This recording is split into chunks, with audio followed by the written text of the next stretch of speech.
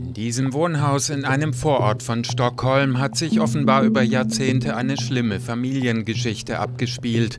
Eine Frau soll ihren Sohn hier unter erbärmlichen Umständen 28 Jahre lang eingesperrt haben. Schwedische Medien berichten, der 41-Jährige sei bei seiner Entdeckung unterernährt gewesen, er habe fast keine Zähne mehr und entzündete Wunden an den Beinen gehabt. Er habe kaum laufen und nur schlecht sprechen können.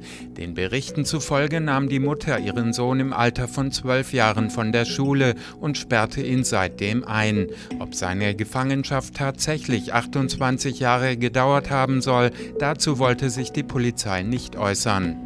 Eine Verwandte soll den heute 41-Jährigen gefunden haben, nachdem seine um die 70 Jahre alte Mutter ins Krankenhaus musste. Die Verwandte berichtet laut Zeitung Expressen von Urin und Schmutz in der Wohnung. Sie habe sich ihren Weg durch Berge von Müll bahnen müssen. Der 41-Jährige ist seit seiner Entdeckung in ärztlicher Obhut. Der Mutter wird unter anderem Freiheitsentzug zur Last gelegt.